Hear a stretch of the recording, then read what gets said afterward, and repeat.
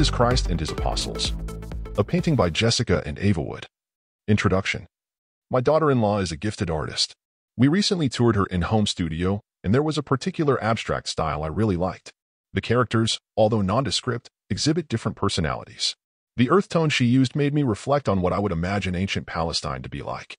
Then an idea popped into my head. Why not commission her to do a painting of Jesus and the Twelve?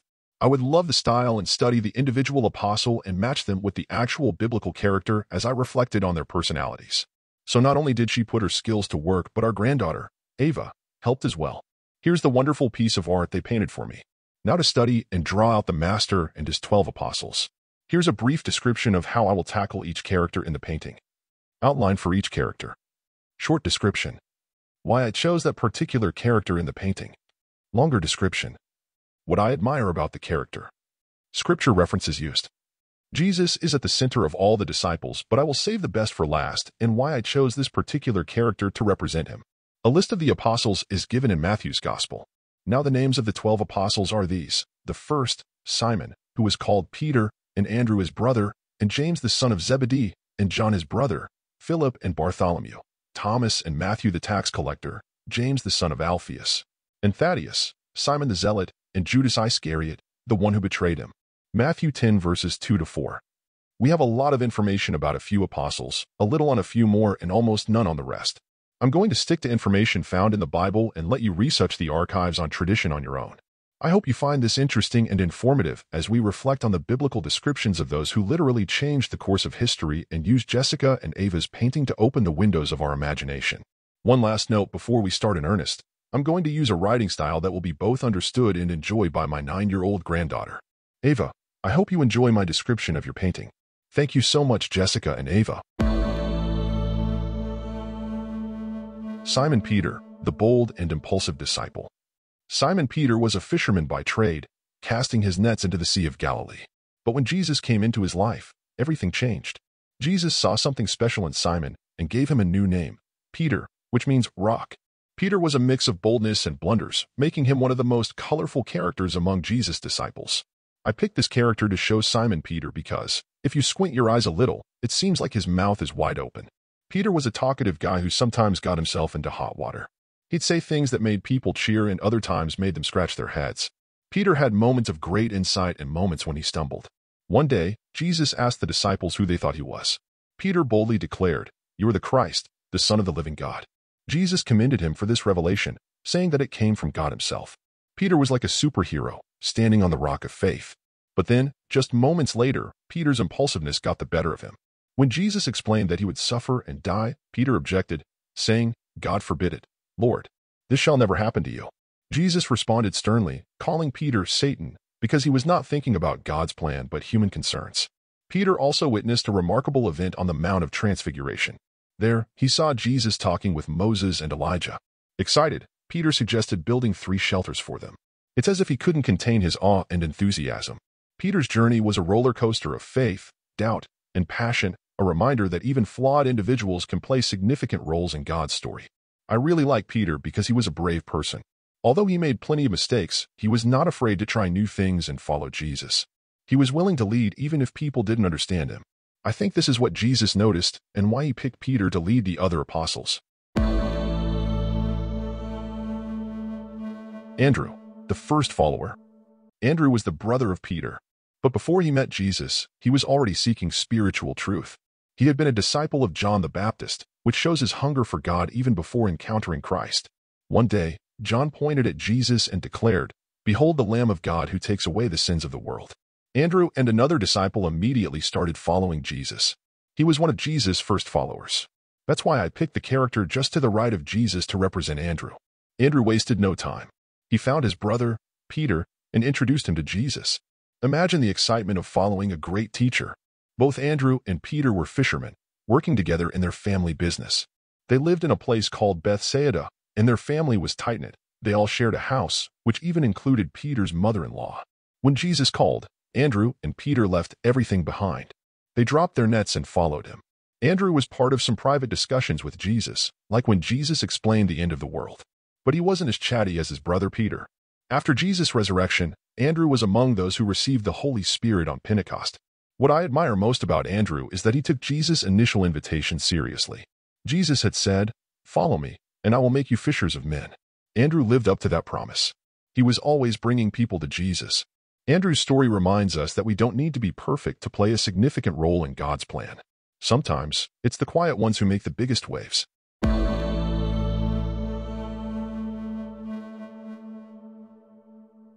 James, the son of Zebedee. James was also one of the twelve apostles, which means he was part of a group chosen by Jesus to help spread his teachings. I chose this figure in your painting because he seems to have a strong face, like someone who is determined to be faithful to Jesus. James had a brother named John. They were like two peas in a pod. They were both fishermen, just like their dad, Zebedee. One day, Jesus came along and said to James and John, Follow me. It was like an exciting adventure. Jesus wanted them to be fishers of men, which meant they would help bring people closer to God. James and John left their fishing nets behind and followed Jesus everywhere. On one occasion, Jesus healed a sick girl. She was the daughter of a man named Jairus. James watched in wonder as Jesus touched her and made her well. It was another miracle. James and John were known as the sons of thunder. Maybe they were called that because they were bold and full of energy. One time they asked Jesus if they could sit next to him in his kingdom. The other disciples got a little upset because they thought it was very arrogant. Truth be told, they were probably mad because they didn't ask first. After Jesus rose from the dead, James saw him. Can you imagine the joy? James became even bolder. He told everyone about Jesus, even when it was dangerous. Sadly, James was the first apostle to die for his faith. But he knew that Jesus was worth it. I like James because he was loyal to Jesus even when it cost him his life. He was committed to his teacher and friend Jesus.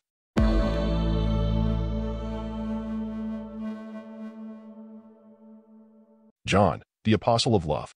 John was the younger brother of James, another special friend of Jesus. He wrote some important books about Jesus, like the Gospel of John and a few letters called epistles. John loved to talk about loving God and other people. Because of this, people started calling him the Apostle of Love. I picked the character that stands right next to Jesus. His robe is white, covering his heart. It's like he's saying, I love Jesus with all my heart. But how did John become so close to Jesus? Well, it all started when Jesus met John by the Sea of Galilee. John was a fisherman, and Jesus invited him to join his special group of followers. John, along with his brother James, became part of Jesus' inner circle. They saw amazing things together, like healing miracles and even a special prayer in a garden. John and James were sometimes called the sons of thunder. Why? Well, they were a bit like firecrackers, full of energy and passion. John had to learn from Jesus how to love people the way he did. Once, they wanted to bring down fire on a village that didn't welcome Jesus. He corrected John and told him that he came to save people, not destroy them. Another time, they stopped people from casting out demons in Jesus' name. Jesus told him, Don't do that. If people use my name for good, they can't be against me. John made his share of mistakes, but Jesus was patient with him and taught him how to love people better. At a very sad moment, when Jesus was crucified, which means he was killed on a cross, John was there. He stood by Jesus' side, along with some other women, including Mary, Jesus' mother. Jesus trusted John so much that he asked him to take care of Mary. Even though Jesus had brothers, John was the one who looked after Jesus' mom. I like to remember John as the apostle who learned to love from Jesus before he was called the apostle of love. His courage, love, and commitment to Jesus shine brightly in the pages of the Bible. So whenever I look at your painting, I see John and think about love, bravery, and a heart for God and people.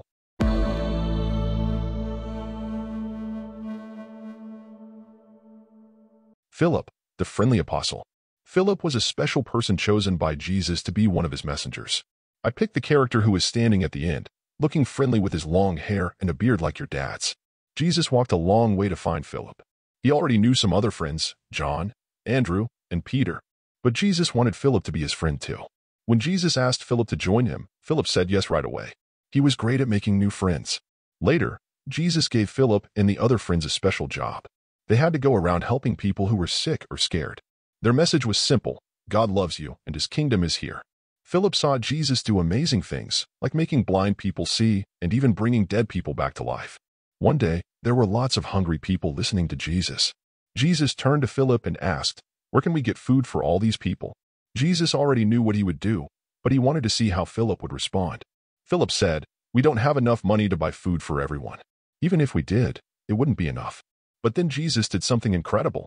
He took a little bit of bread and fish and made it multiply until there was plenty for everyone to eat. He fed 5,000 people with just a small amount of food. As Jesus' time on earth was ending, some Greek guys came to Philip. They wanted to talk to Jesus, but they weren't Jewish, so they didn't know if they could. Philip was kind and helpful. He took them to Jesus, connecting them with the amazing teachings of Jesus. And that's why we remember Philip as the friendly guy at the end of the picture, always ready to help and connect people with Jesus.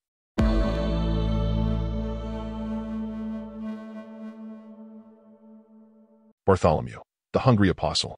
Bartholomew was one of Jesus' special friends. His name means son of a farmer. I picked the character who looks like he's wearing a brown robe, looking a bit like he has dirt on him from working in the fields. Maybe Bartholomew was a farmer, or maybe not, we're not sure. But let's explore some stories about him and the other friends of Jesus. Once, Bartholomew and the others were very hungry. They walked through a field of wheat and picked some to eat. But some people who thought they knew everything about God got upset. They said to Jesus, Your friends are breaking the rules. They're not supposed to work on the day of rest. Jesus stood up for his friends and said, You don't really understand God's rules or how to love people. Another time, Bartholomew witnessed a miracle at a wedding. Jesus and his friends were at a party when they ran out of wine. Jesus' mom asked for his help. At first, Jesus hesitated, but then he decided to do something amazing. He took eight big pots of water and turned them into wine. And guess what? It was the best wine ever. The person in charge of the party was so surprised that they told everyone how special the wine was. Bartholomew was part of these incredible moments with Jesus. He learned about love, kindness, and miracles. Even though we don't know much about him, we remember Bartholomew as a friend who walked, ate, and drank wine with Jesus.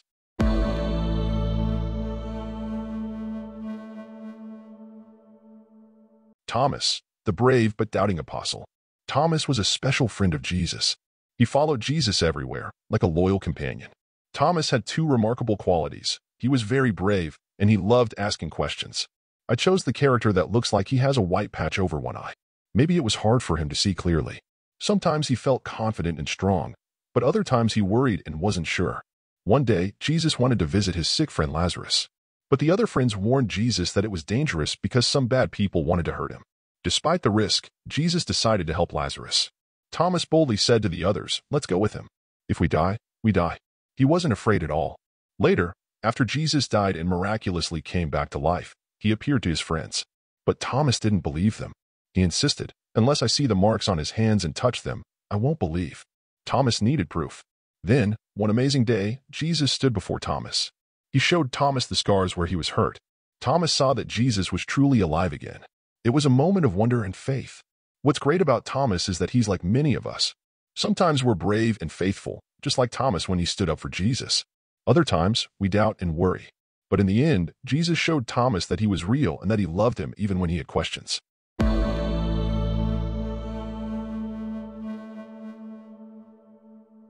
Matthew, the radically changed apostle.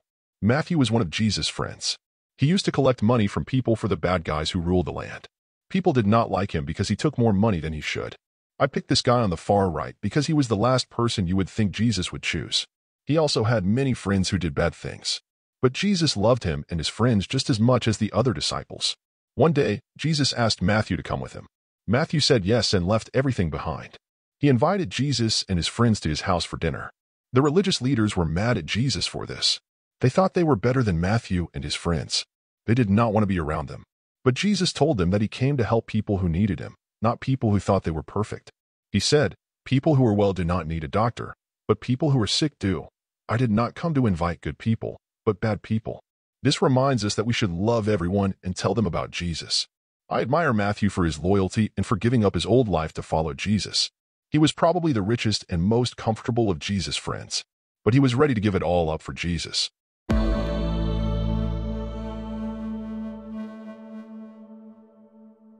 James, the son of Alphaeus. James was one of the twelve friends of Jesus who helped him spread God's message of love. He was also called James the Younger because he was younger than another James who was also Jesus' friend. He was not the same as Jesus' brother who also had the same name. I picked the friend who was next to the last one on the right. We don't know a lot about him, and the Bible only talks about him a few times. Sometimes it's really about his mom who also loved Jesus. Since there is not much to say about him, I will tell you some amazing things that he and the other friends saw. The first thing was when Jesus walked on water. Jesus had just finished telling many people about God and it was getting dark. He told his friends to get in a boat and go to the other side of the lake. But Jesus stayed there to talk to God in his heart. Later that night, the friends saw something scary on the water. They thought it was a ghost coming to their boat. but it was actually Jesus walking on the water. He told them not to be afraid and got in the boat with him. They were all so amazed. Another thing was when a man with a very bad skin problem came to Jesus and asked him to make him better. The friends were all very scared because the skin problem could spread to anyone who touched the man. But do you know what Jesus did? He actually reached out and touched the man and made him better. Jesus was not scared and trusted that God could make him better. I like James because he got to see some amazing miracles that Jesus did. Can you imagine hanging out with Jesus and seeing some of the things James did?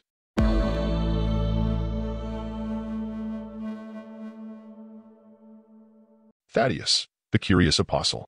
Thaddeus, also known as Judas, not the same as Judas Iscariot, was one of Jesus' close followers and messengers. In your painting, I chose this character because he has a unique way of standing next to Jesus. His head is slightly tilted, like he is curious about everything. Now, let's explore why Thaddeus is interesting. When Jesus told stories called parables, Thaddeus was always eager to learn. These parables were like mysterious messages waiting to be understood, but not everyone got them right away. Thaddeus loved asking questions. And guess what? Jesus loved answering them. He said, To you, my friends, I reveal the mysteries of God's kingdom. But those who don't ask questions get stories and riddles. So, every time Thaddeus wondered, why did Jesus say that? Or, what does this mean? Jesus patiently explained. Thaddeus felt like he was unwrapping precious gifts. After Jesus came back to life, yes, that's a whole other adventure. Thaddeus and the other disciples had another question. They asked Jesus, Are you going to make our land better now? Will you get rid of all our enemies?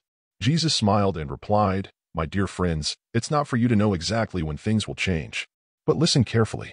You'll receive a special power from God, the Holy Spirit, and you'll become my messengers, spreading love and good news everywhere, from our hometown to faraway lands. So, Thaddeus was always asking questions and being curious. He became a special messenger of Jesus with his heart full of love for God and people. Remember, my granddaughter, asking questions is like an amazing key unlocking the best mysteries and secrets. Keep asking lots of questions, but keep a simple faith. Maybe you'll discover some of the secrets of the kingdom of God too.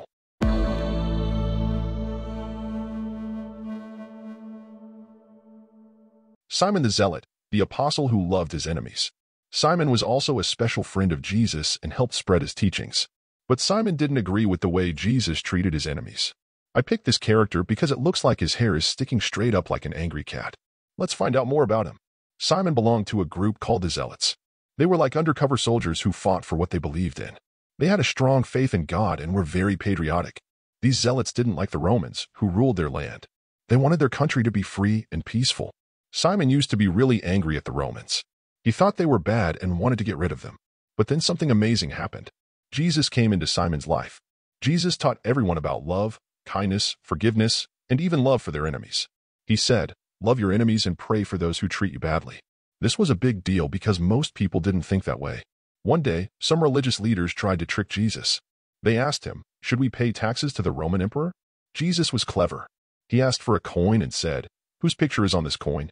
They said, It's Caesar's. Jesus replied, Give Caesar what belongs to him, and give God what belongs to God. It was like saying, Be a good citizen, but also remember to love God. That had to blow Simon's and everyone else in the crowd's minds. I like Simon because he listened to Jesus and changed his ways. Instead of hating the Romans, he started loving everyone. He even taught others to do the same. Simon's devotion turned from anger to love. He became a hero in a different way. Simon the Zealot learned that love is stronger than hate.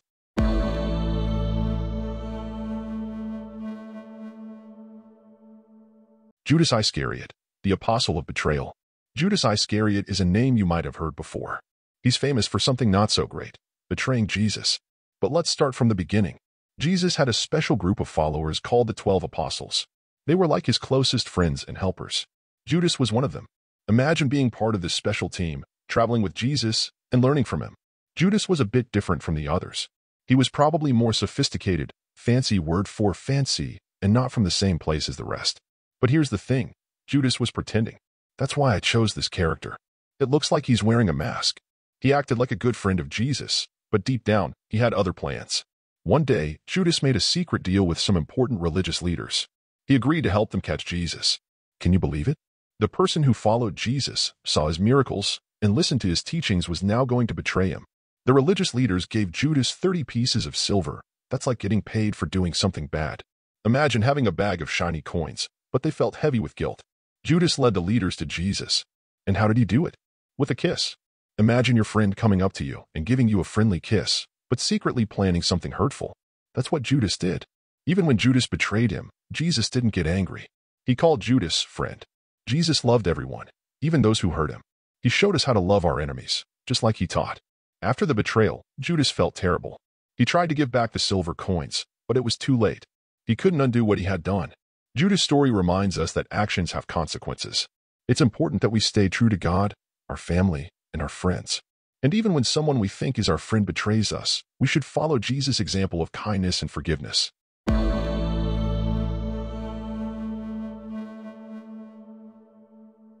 Jesus Christ, the Son of God. I've saved the best for last, the Lord Jesus Christ himself. I chose the character in the middle. He is not only at the center, but he appears to be in front of his followers. He is also called the Son of God because God sent him to earth with a special mission. Let's explore his story. God loved us so much that he sent his only son, Jesus, to earth. Jesus was born in a miraculous way. And just like you, Jesus grew up as a child, playing and learning.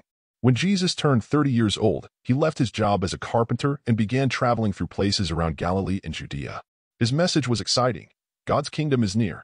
People were curious. Was Jesus a king? But Jesus was different. He healed the sick, showed kindness, and taught important lessons. Long before Jesus arrived, God had told special messengers called prophets that a Messiah, a chosen one, would come to save his people. People thought the Messiah would fight against their enemies, the Romans. But Jesus surprised everyone. He said he came to save them from God's judgment for the wrong things they had done. Jesus had a group of close friends called the Twelve Apostles. They learned from him and helped spread the good news about God's love. These are the men you and mom painted in this wonderful painting. Sadly, some religious leaders and the Romans didn't like Jesus' message. They arrested him and hung him on a cross. But here's the amazing part. God knew this would happen. He wanted Jesus to take the punishment for all our wrongs. Jesus died on that cross to pay the price for our mistakes so we wouldn't have to. But he didn't stay dead. In three days he rose from the dead and proved he is king over all creation. The Bible says, For God so loved the world, that he gave his only begotten Son, that whoever believes in him shall not perish, but have eternal life. This means that if we believe in Jesus and follow him, we can have eternal life with God.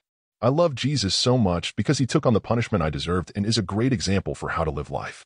I've been his follower for over 40 years, and although it hasn't been easy, it has been extremely rewarding. I love telling others about him. And that is the story of Jesus and his 12 apostles that you and your mom painted. Thank you so much for helping to create this. It hangs in my office so I can look at it every day. This is to remind Nana and I that we are God's special messengers of Jesus and his love. I hope one day you will become one too.